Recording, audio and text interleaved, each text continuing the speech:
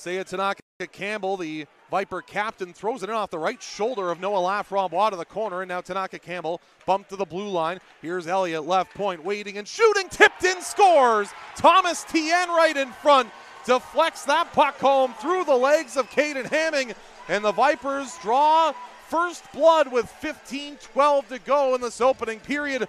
It's Thomas Tien's first BC Hockey League playoff goal, and on the eighth Vipers shot of the period, they make it one to nothing. Back to the blue line now, Milburn. Across right side, it's Welsh. Working in top of the right circle to the net, he scores!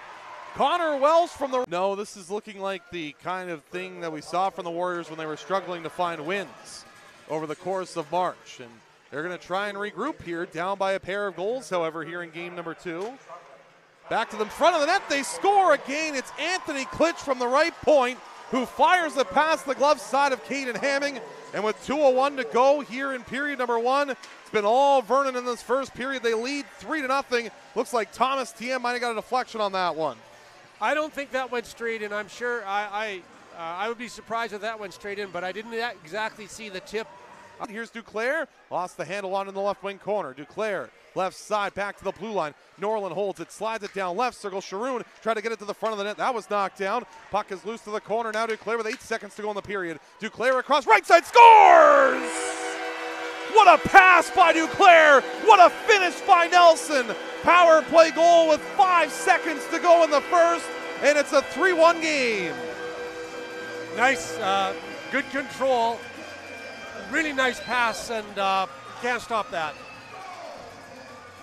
Well, there you go. Back along left wing now. Parks tried to saucer that down low. That was broken up. Salandra left it there. And now Aiden Reeves an opportunity to clear, but he fanned on the attempt. Here's Parks back with it now. He's taking a penalty, and Parks scores. Lee Parks in the left circle fires it past the blocker side of Caden Hamming. That's knocked away, and now Duclair's back with it again here on the left wing. Duclair, top of the left circle, moving into the right side now. A pass into the skates of Michael Salandra. Salandra back with it again. Right wing side, dropped it back off there. Here's Norland, left circle. Duclair a shot, he scores! What a shot! Power play goal. Chris Duclair is second of the playoffs from the left circle. Posting in on the glove side of Ethan David. And the power play for the Warriors gives them life again to make it a 4 2 game with 9.16 to go in the second period. I'm looking to try to keep that going. Their power play has been their lifeline so far here tonight. Looking to try to make it a one goal game. Here's Norland midpoint. Left wing side, Duclair left circle down to the goal line. Sharoon back up top. Here's Norland waiting, shooting, scores!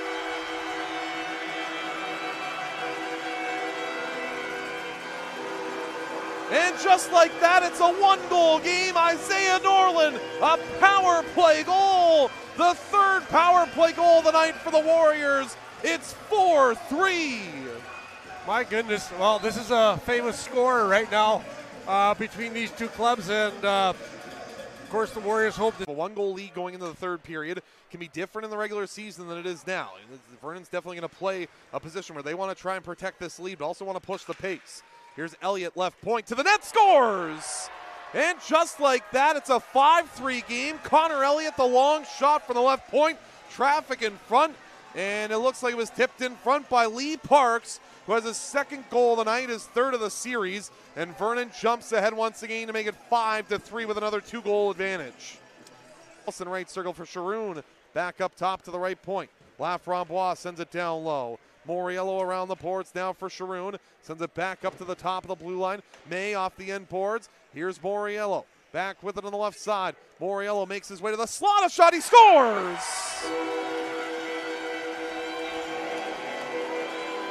And 10.39 to go in the third period. It's a one goal game once more. Jaden Moriello, his second goal of the playoffs, makes it 5 to 4. And here we go. I got to tell you, Norland carries it ahead through center, fires it back into the offensive zone. 12 seconds to go in the third. McMaster on the end boards lost the handle. Puck around the boards right side, trying to clear his Milburn. He throws it towards the empty net. It's fired just wide. Four seconds to go. Tanaka Campbell to the puck and a centering pass. That's knocked away, and that'll sound the buzzer. This one's over. The Vipers come away with a 5 4 win in game number two and have evened this best of seven interior conference quarterfinal series one to one as we head to Vernon for game three on Tuesday night. Was it just me?